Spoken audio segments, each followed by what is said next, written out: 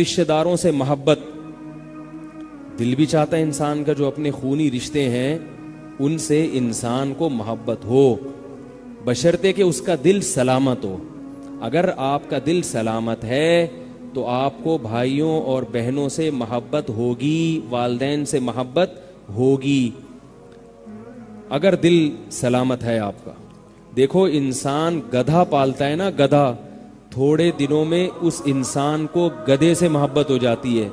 बशर्ते कि ये पालने वाला खुद इंसान हो, गधा ना हो। ये खुद भी अगर गधा है तो फिर नहीं होगी। ये इंसान की फितरत है। तो अब आप बताओ, बचपन में बहन भाई जिन्होंने एक ही माँ के पेट से जन्म लिया, एक ही खून से, एक ही गोश्त से अल्लाह ने दोनों को बनाया, एक ही छाती से दोनों ने दूध पिया, और कई सालों तक इकट्ठे खेलते रहे। बचपन में बहन भाई कैसा, कैसी मोहब्बत करते हैं, कैसा खेलते हैं आपस में? और बिस्तर पे कैसा चिपक चिपक के सोते हैं वो? बहन भाइयों को एक जगह भाइयों हो या बहनें हो छोटे छोटे बच्चे जो होते हैं, एक ही बिस्तर पे सबको डाल दो। वो कलाबाजियाँ एक दूसरे पे खाते खाते सो जाएँगे।